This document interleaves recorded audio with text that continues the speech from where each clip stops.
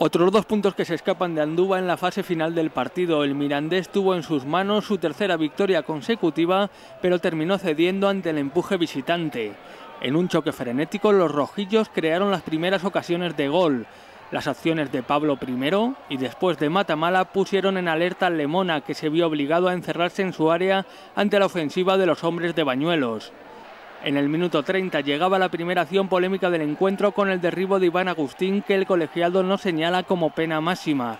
Antes del descanso, Cabero disfrutaría de otra clara ocasión para adelantar a los locales.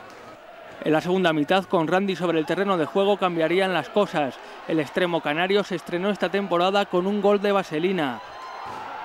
Tras el tanto local, el conjunto cementero se volcó sobre la meta rojilla. Fue entonces cuando el Lemona obtuvo su recompensa. En el 86, Ramírez ponía el empate en el marcador tras aprovechar una serie de rechaces en el área rojilla. El empate deja a los mirandeses en la duodécima posición. Tal y como se había puesto el partido, yo creo que es un mérito importante en un campo como este donde la gente empuja tanto y donde eh, realmente después de las ocasiones desperdiciadas durante el primer tiempo y alguna en el segundo pues veíamos eh, complicado el poder empatar. Bueno, la fe del equipo eh, yo creo que nos ha llevado a poder conseguir un punto, incluso al final pues hemos tenido opciones de conseguir la victoria. ¿no?